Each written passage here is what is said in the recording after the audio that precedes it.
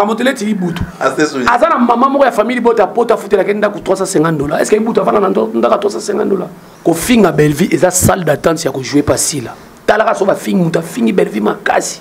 abimisi babiloko mo boye ake joue pasila parce que soki babalusi congo nigeria bellevie akozala ini edo irsile akozala merci johnson sila peut-être mama pasa par rapport à âge ah. bellevie adirigea sila oh, na bafilme ouais. mais oui akoma na cassette mais sila ye ekoma na internet ngai na ye toya ndenge moko ngai na sila tokomi ngai nakomi filme ya mado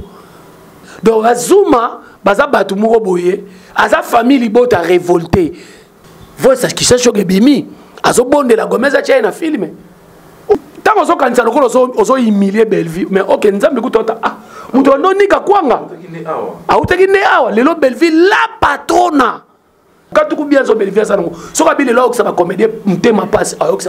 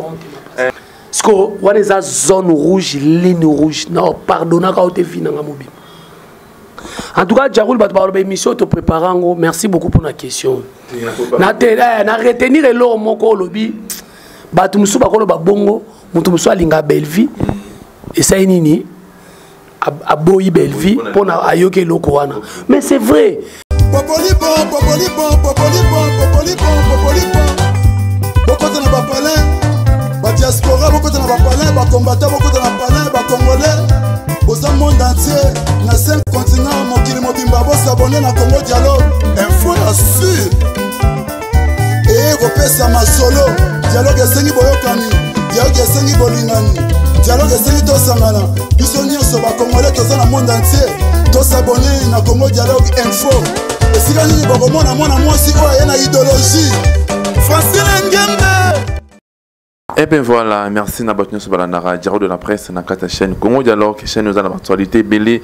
oyo botindaka mwana mosala na bino Diaro de la presse ayambela bino toujours ba musiciens, ba artistes, ba partie parole, ba comédiens nyonso nyonso botindaka en tant que mwana mosala na bino na sala bino mosala parce que eza mosala na ngai et merci à toi ma mère maman Francine Ngembe mama apesa kimia na motema jarol eh, mama apesa mama abota jarol mujinga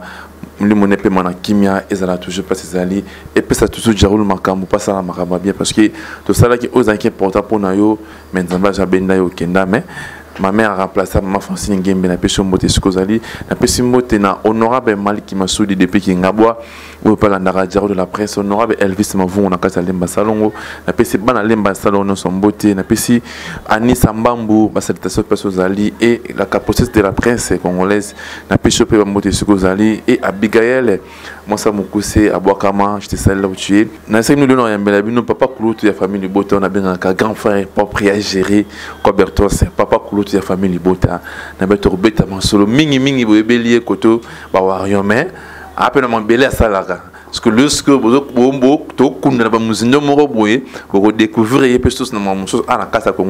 congo dialogue na sire mama francine ngembe ntango akomona émission oyo akosepela makasi akosepela parce que baémission yanga tuna asala mikolo mama abasi yanga vraimen bamerci mpona mosala eh, eza toujours actualité na kati ya actualité mpona eh, artiste na biso ya monene ya mboka bellevie oyo azali moko ya baartiste ya comédien oyo asala baœuvre ebele mpe ti lelo azokontinue kosala baœuvre ebele mpo na mboka na ye azotombola toujours lokumu ya rdc partout azokende parce que bafilme na bango ekendaka mosika aza mpe kaka ye moto aza ebele mais moi aujourd'hui on parle mpo na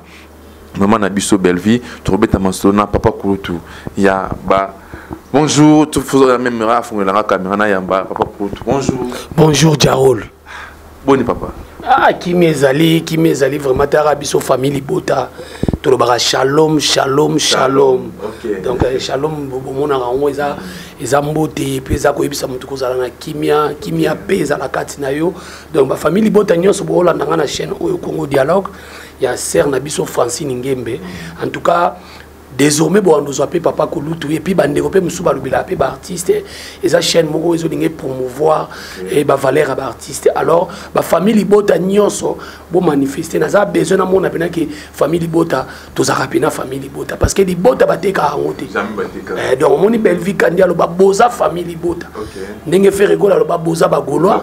ndenge fali pupa aloba boza bawarrior héritier baspiritas donc eh, ndenge mpe bellevie kandi aloba boza famille libota en tout cas jaroul naza na esengo mingi oyambaka nga mingi na parce que ngai alobelaka des artistes mm. nalobelaka fali pupa nalobelaka te bandeko batikali soki mpo na kopromouvoir mpe promotion na bango tokosala mais nalobelaka des artistes na théâtre bellevie kandi na musique fali pupa donc baza baartiste na biso ya mboka epuis naboyaka baartiste mosusu te mm. mais sauf ke baartiste onga na pona nalinga koteka image na bango malamu kofaire pousser bango kotya bango maboko donc c'est mpe ça famille libota nyonso ya londres surtout base à londres baolanda biso à senet moment mama claudine bokatola mama aminata tolomba mama la mama chérie ya mwasi mama josé lusadus botelema famille libota na jiji katema depuis arabie saoudite wana aza diplomate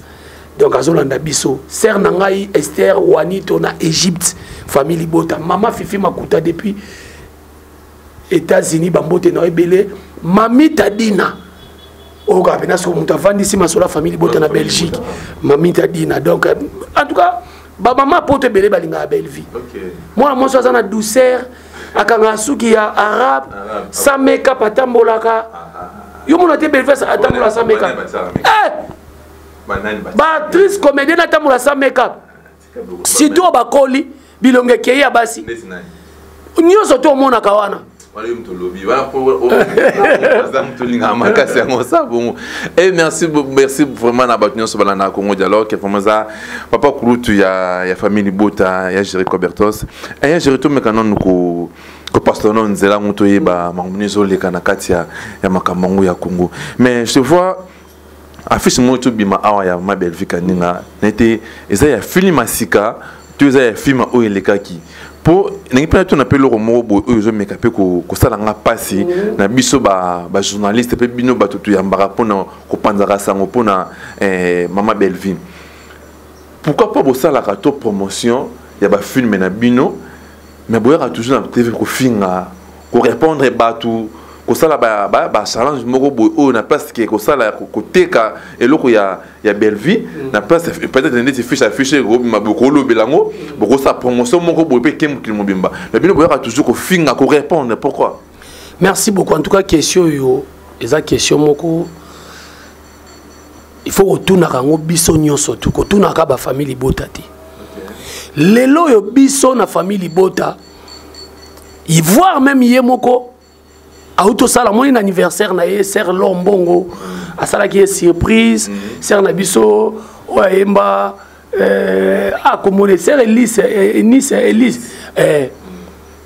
aye kosala surprise bato bafamille libota meme ya poto basalaki surprise alobaki na video wana alobi naza na mposa bosoutenir nga okay. bo soutenir nga wana bokopesa nga makasi jaro na biso nde tovandi awa nakolakisa 10 émission na nga naza mutu na ana mabe kanda mpe eyaka parce que moi nde nalobela ma belle vie vie na nga mpe eza expose lelo bafinga mwana na nga bafinga peut-être mwasi na nga bafinga famille na nga likolo peut-être mpo nasalelaka mama bellevie kandi promotion tout à l'heure yo oyo okuta nga awa ta lelo leti nakoma nazwi tige nakotisa yango na masolo ya théâtre eh, tosala yango kaka na miziki mais nyonso tona eza nini mpona kofaire promouvoir artiste natie mpe affiche ne otuni ngai ya sika wana ekoti wana oyo filme na biso wana eza filme ya sika ezobanda deja lelo eza présentation filme euti osila nkombo nango ziguière ziguière nde euti kosila ziguière cela veut dire mutu oyo oyo ozalana kaka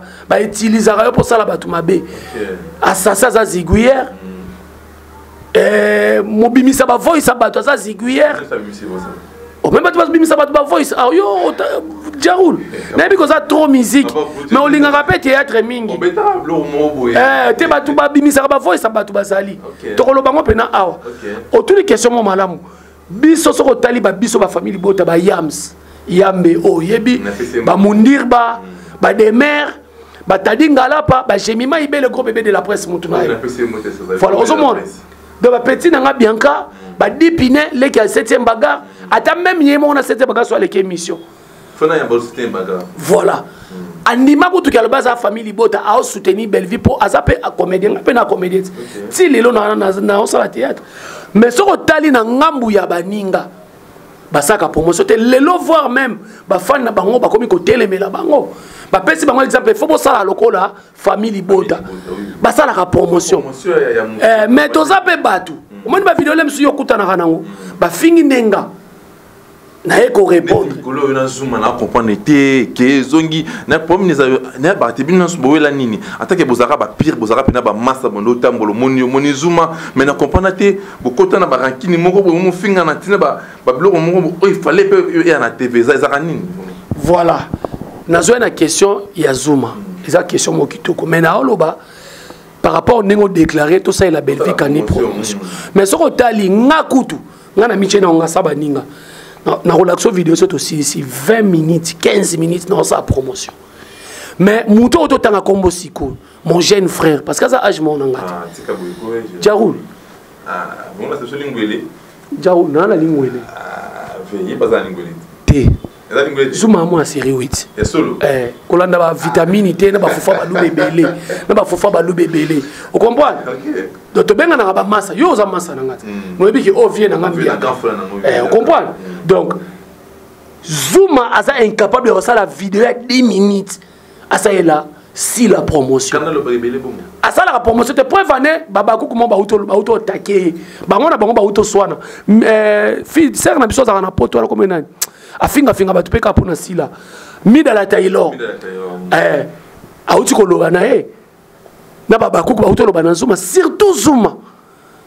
ye ayela kaka bellevie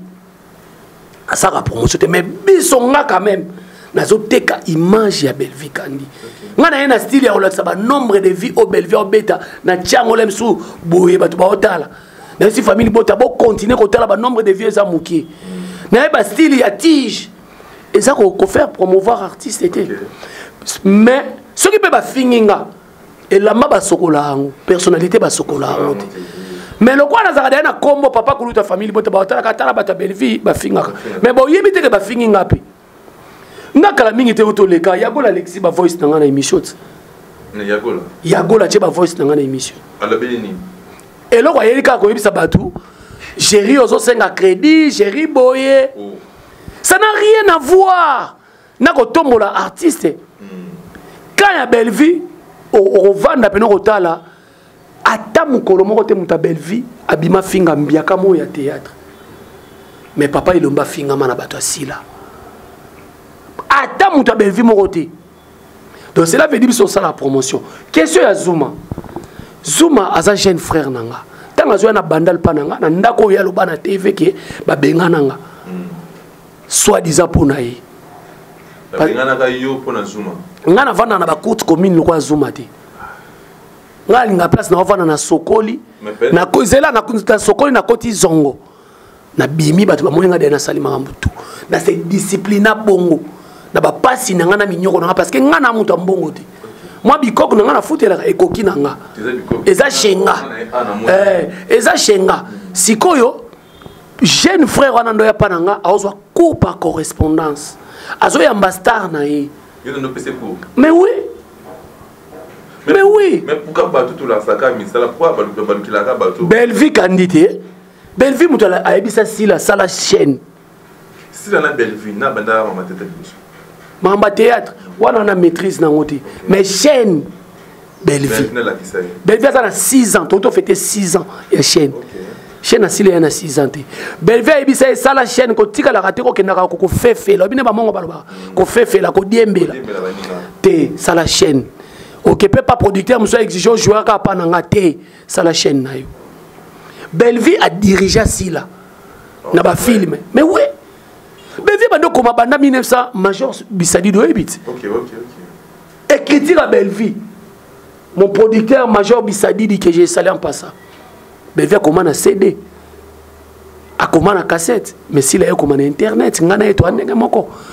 ngai na sila tokomi ngai nakomi filme ya mado wana à l'époque sila osala bafilme te ntango na filmi komi filme ya mado jarulo oyebi endombi na poto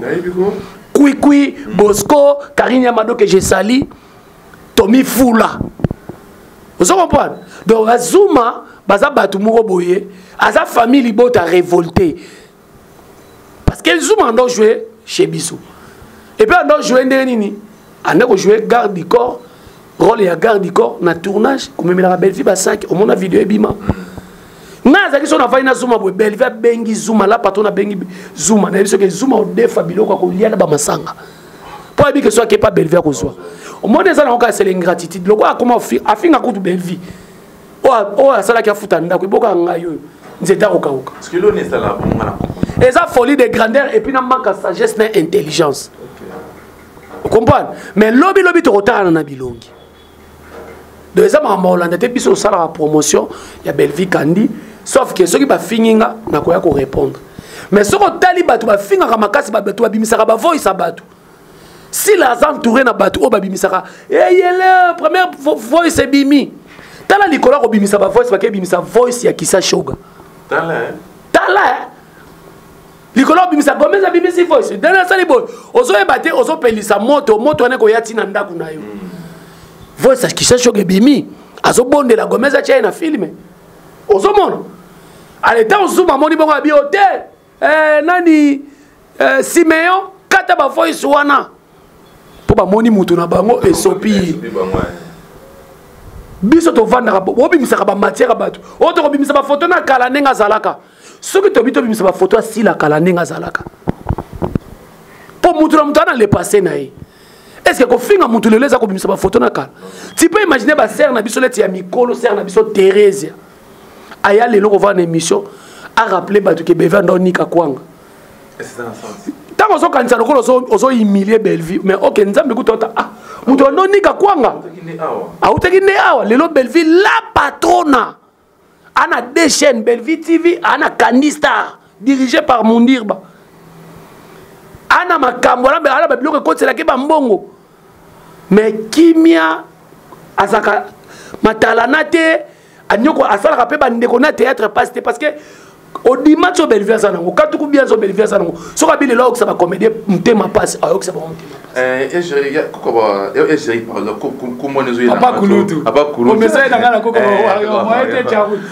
meme na bafamili bota mpe bacomprena eh. neti mama na biso mama anas hmm. motema ya papa jaboud mahemu aza warriors aso famille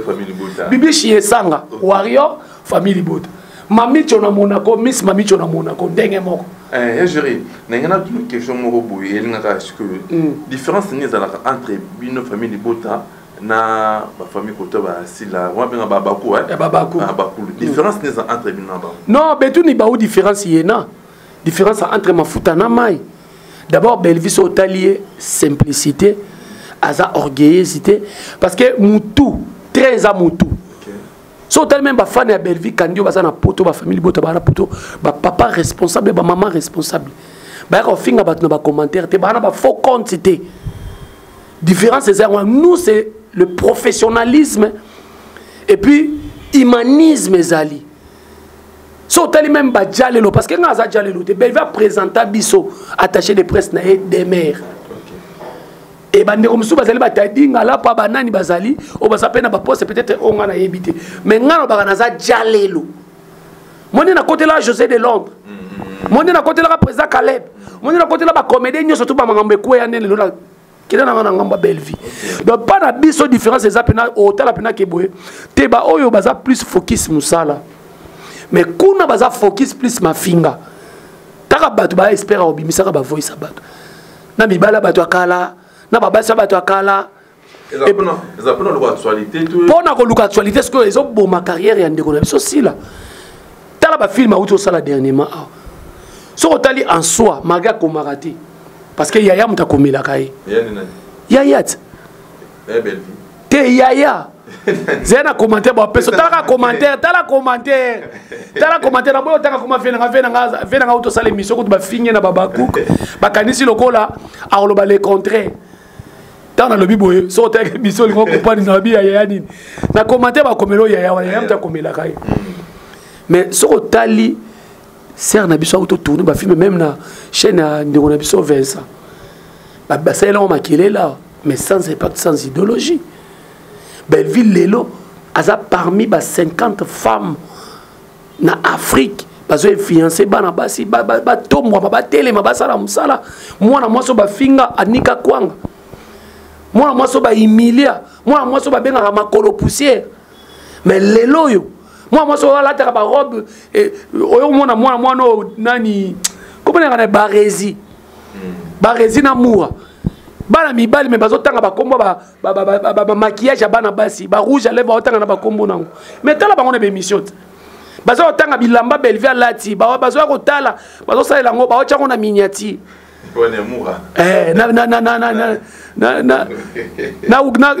na famille libota révolté petit nanga barezi oh, kasi ye azalaka na famille libota bellevie abloka ye te ah. mpo abisalasala te oh. bellevie mpa na ye c'est l'excellence ata ngai oyo asilikelaka nga mai naza mpe kaka motu hmm. naza mpe mutu eh, donc cela veut dire différence eza monene papa epuis soki otali lelo tokoti na apropos ya chaîne omona ke nombre de vie ya bellevie aobeta na bachaîne na ye ezo correspondre na vie na ye mais nombre de vie ya mamuteke ecorrespondre e na na vie na ye te donc différence yango wana vraiment ok merci beaucoup congo dialogue c'est papa kulutu donc bocomprendre kaka mama yango ndenge ekende malemi malemi tokóma place bino bosenga tokóma wana eh, ya jori est ce que eza eza eza na film film moko déjà ya oyo tournon na tendresse bon wana aza petite sœur malgré baza bato moko boye oyo lelo baza sans humanisme parce que tendresse ntango awutaka point noir kasi nazo nayo explike ti eza na filme oyo botuninga bi eza filme oyo okay. ojua deya na tendresse nazokomisa sikoyo place touti parce que bato ya lelo babosanaka histoire tendresse asala théâtre pa papa lobe omona ya te na filme moto etaka papa lobe adelo azala londres na pesi mbuta tendresse asala théâtre pa sami mokili ngam na odirige bango kokete sasa ayebi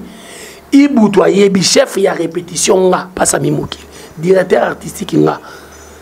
na sere na biso moko eh, tatiana osango asaka bemission ya politique directeur artistique mpe asami mokili réalisateur caméraman nga okay.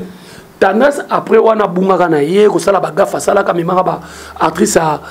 ya sami mokili mpa bacatiere badamsone bango bapesa bango luyalo oh.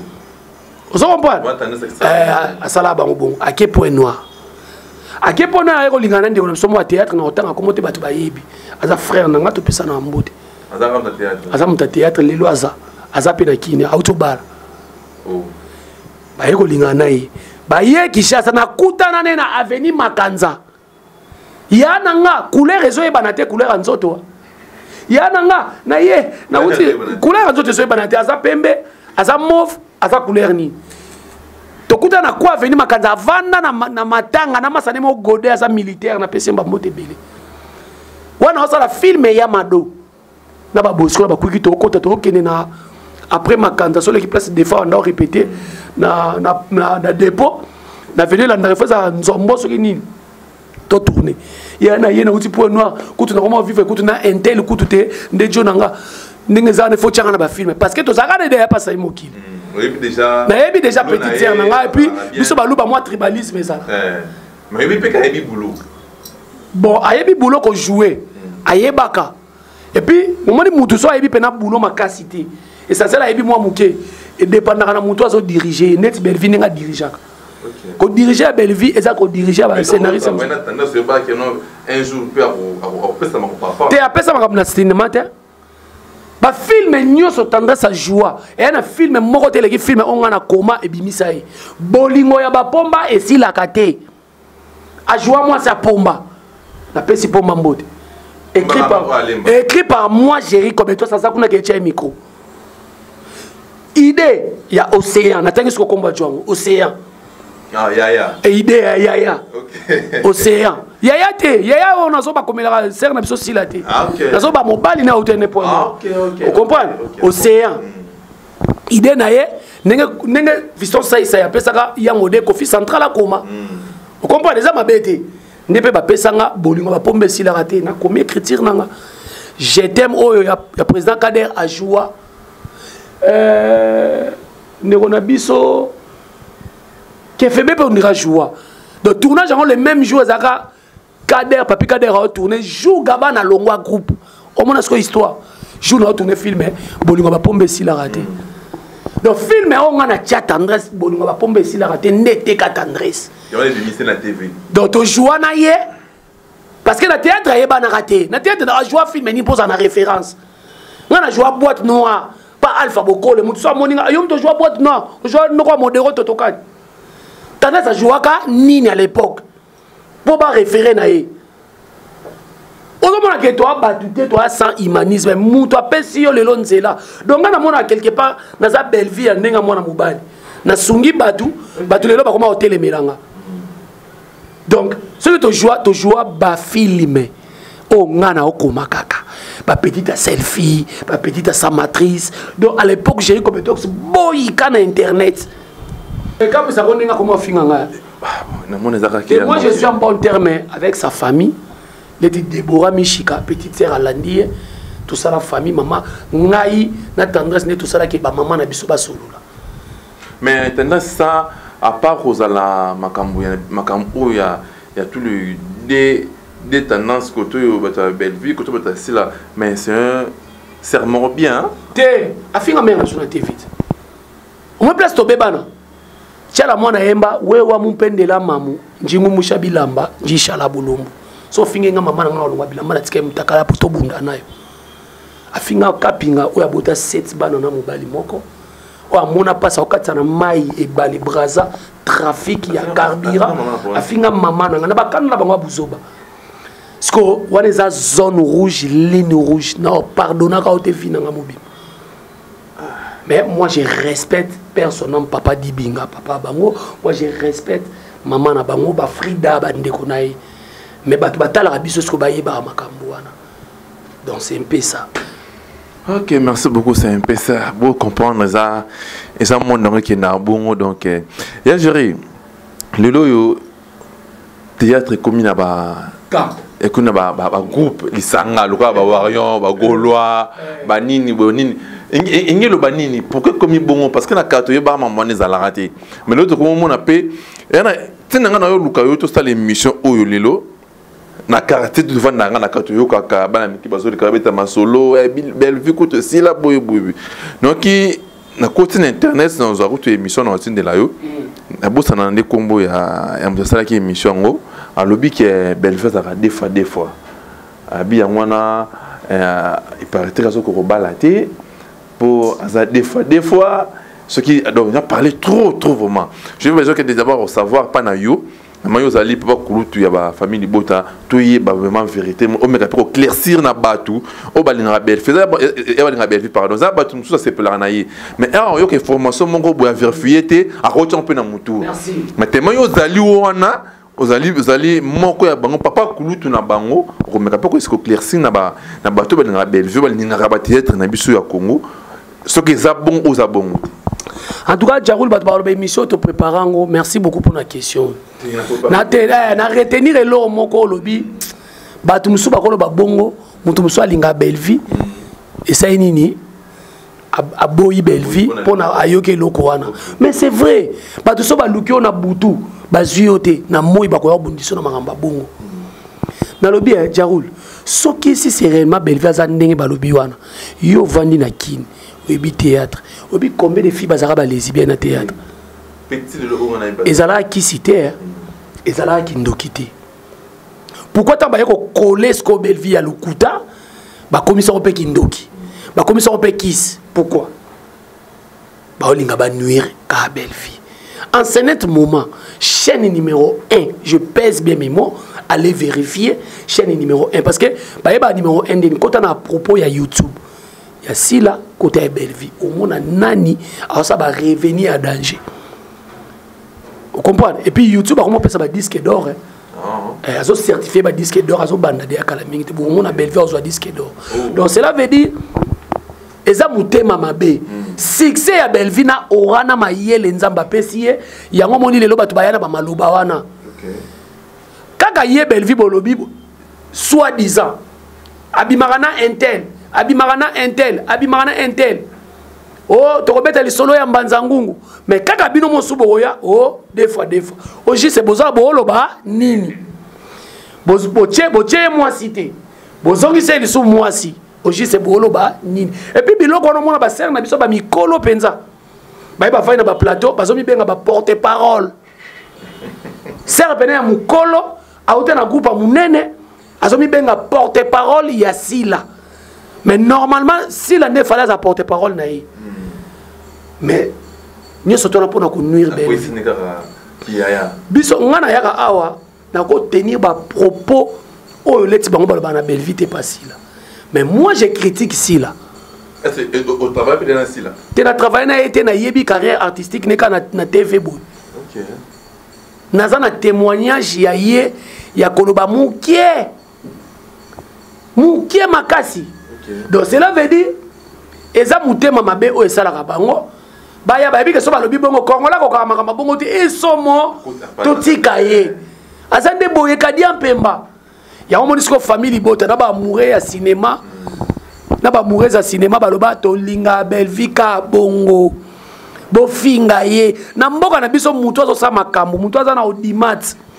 babundisaki kaka bongo bellevie kandi epuis soki baoloba makambo akobala nani asabali mais, mais, bon, là, je sais. Est-ce que on eza débat pena biso ba, ba, ba père de la famille na ba maman oyo ya mikolo boyaka na tv bolobaki bellevie kutu nano abali te Or que c'est archi faux. Je salue notre papa, il est à la maison. Bellevue aza na papa na ndako. Okay. Eh, boluka nde bayeba nde vie ya Bellevue. Bellevue aza na un américain perdu au Congo. Otali mobali okumisi Nzambe. Et puis ya mayele. Okay. alors yo communicatrice moko ya ndeko na biso sila ozoya koloba bevi makambo ya libala mais au moment osila alakisa biso mondele mo bona poto voilà votre papou voilà votre papou bientôt libala ti lelo bosomba bilamba babalana te a ah, eza critique eske na ofing natuni bango kaka coup sur coup eloba emmanuel shadari mm. au moment balaka biso libala ti lelo bilamba evandi ezwi mbungi ekoti binsekwa na bandako donc eza mpasi belvi kandi osaka mosala na ye te ndenge azosalela biso bafilme bafilme ya belvi kandi lelo mama mwana azokende te na ndako tya filme ya belvi talisa ye ata oza na kinshasa tielaka ye mega 1 giga par jour parce que biso chaque jour épisode ekotaka na 16h30 belvi asaka 4 filme par mois chaque semaine eye na filme nango c'est l'industrie de cinéma faut avoir l'organisation tu peux avoir l'organisation mais moyen mpo oza nango te ni aza na soutien ka ya famille libota mais namonaka kende asuba nzonzingi te ah, mais nzonzingi eske ezala na mboko te akendaka auto joue film omar kabongo okay. ajouaki film ya rosi mutiopi ocomprendre okay. eh, mais nzonzingi mpena na congo ezalaka su te bakao toloba nga mpo namonaka nde bakao ekoma ematisa théâtre eh, bato baolobo eh, bakan oyo ekaboli théâtre eh, bato bakaboli théâtre non eza bien toyeba sikoyo force ya nani na nani nga mpe na ngambo nanga nasalaka karte à l'époque mm-hmm. à l'époque lelo soki batendance baza grâce ya nani te te natuni natangi na oye lelo soki oyebi baby donja ya théâtre bona longoli tendance baby donja ma fille chérie mwana nga carrière mado azalaki déjà actrice mais je azwi kaka apesi ye lumière lelo je suis fier ana cour de grand epa bellevue kandi rtnc ya bata théâtre c'est ma fierité ayaya ah, tika na, na niveau mona bazuma te naza niveau mona bazuma te naza fier lelo ya baby donja karine yamado naza fier na bango tosala carrière artistique tolobi tolinga bu tobima bastar Dokari ya mado don idologie na yo. Oh! Aza reconnaissante otala na ba émission ndenge alobaka te. Sauf kaka ke bato ya ba mal compris nde balinga batya ye na ba erreur. Eleye moko lokola aza mayele zolozine evanda alobaka toujours c'est mon papa. So moto aboye mpe nozokompare na bazuma. Moto abozokompare na babano mosusu soki bishop. aventire mo boye soki gimboma aventire papa baza ata na filme moko ta joua eza makambo akoyokana te te eza nde nini bazo comprendre te nga ti lelo esoki nga na na producteur hmm. jour wana oyaki okuta na ojoue na gaga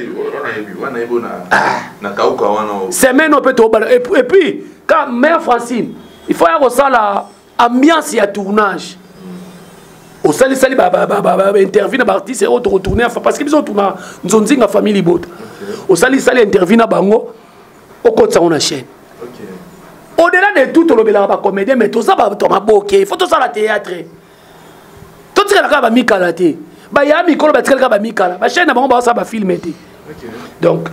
moi je respecte motu nyonso mais sauf que soki otouche bellevie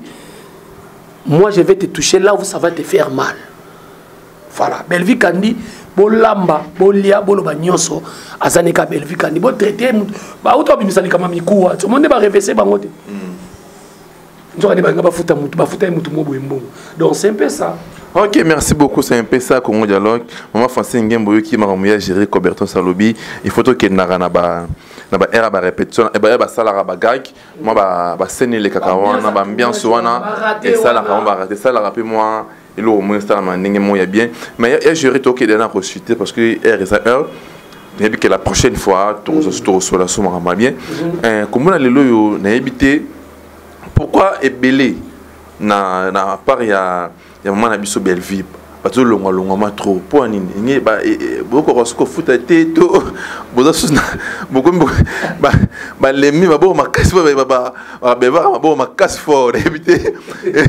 keseki so mpo ya nini jarul jarul question naboyaki yango question tolongwa te tolongwa te tolonga te moto alongwe pa bellevie kandi te tika na répondre oka na éclaircir hmm. malgré question tolinga mpena tolinga ofula bayuma te bellevie kandi ofuta mabe natie yo en défi première artiste comédienne afutaka na nzonzingi na ye nabi te kafutaka 1000 dollars mais afutaka oka davinat apo aloba so na joue film moko ya bellevie kandi ekangaka nga baprovision na mwa makambo mosusu film moko belvi alongoli théâtre na mbota likaso amemi yango na enveloppe akaki elobi te kaza na mbongo tokomisa so na mbongo nini te atalaki théâtre azokende na kokufa bamayonnaise ojoue mpa na ye apesi yo 3000 francs biso mpe topesa ba 3000 francs nalobaka mayonnaise te mpo mayonnaise oyo asilika mpo apamba ye akoma na bakouk akoma bakuku te ok pire moto ya bellevie baza na biloko bayaka koluka pa bellevie bazwa te donc cela veut dire bato baolongwa te bato oyo baakompagnaka bellevie kandi na théâtre boye babandelaka bazongaka leti bapapa serge oyoki alongwe decor ilonga ajouaka ne partout oyoki alongwe gesho ingangi oyoki ke aojoue so pa ba belvi te mamoseka oyoki aojoue te marie jeanne bolole oh. jale lobobo alongwe na eleti nga so na longwe na nga so na longwe yebisanga so na longwe belvi okata filme aosasu bafilme te non eza nango bato balongwe eza bato ya bisengasenga naloba mpena bien bato ya bisengasenga eh, jaru tala na vie bien camarade oyo asenga ko makasi ye moto akotrahir yo na vie de bato ya bisengasenga nde balongwe moto alongwe mpa bellevue kandi te on ne change pas l'équipe qui gagne tala bafilme ndenge ezokende bellevue kandi lelo abimisa ntina bana ya mikie omona bana mwa mikie baojoue bana ya mikie baojoue na bafilme na biso relève lelo tomoni miss kalunga miss kalunga joue dio na lipasa na ye wana bazotya relève azalaka nde déjà star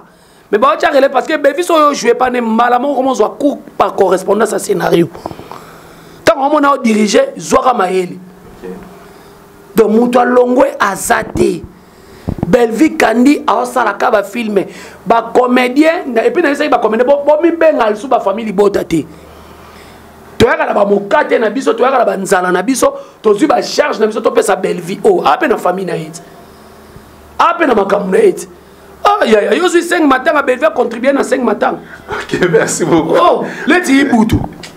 na inga osolola makambo te leti ibutu aza na mama moko ya famille libota ya poto afutelaki ndako 350 dola est ce que ibutu afanda na ndako 350 dola mais lelo alobi yango aye koloba babuzoba na tv aloba babuzonga na tv te mais lelo oyo vie na ye ekosuka ndenge nini ibutu jalousie ojouaka papa oasu na bacréation te batie moninga ezaka vie na biso mo batie ya ojoue pa bevi boye ibutu asiliki mpo na ye yango alongwe na ye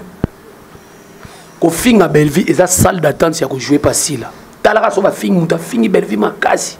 abimisi babiloko mo boye akei joue pa sila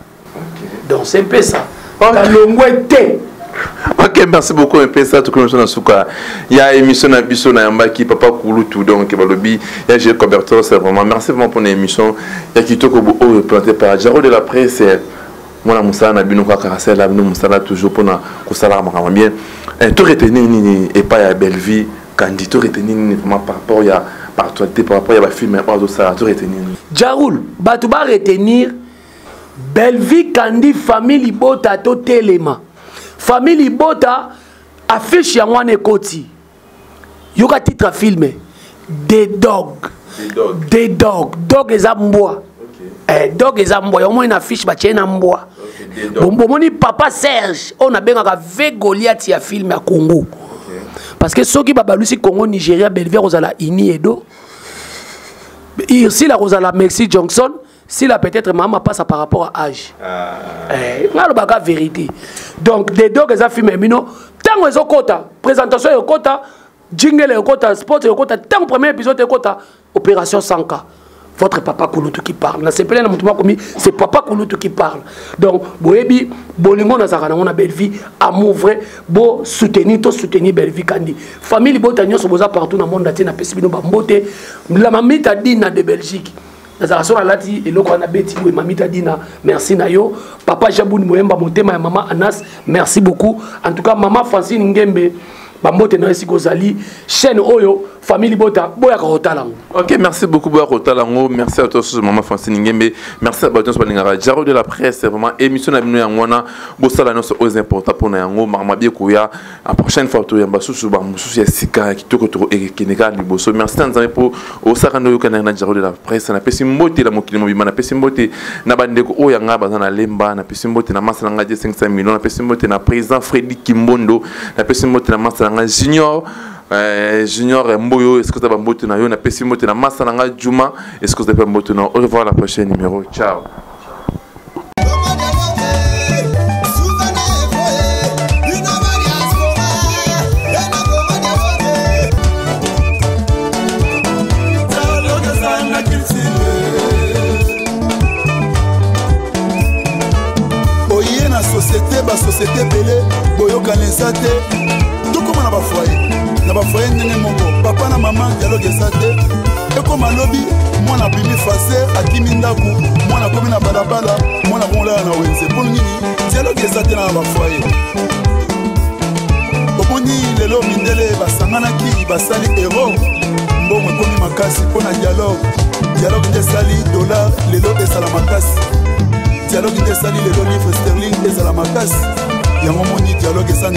nécessaire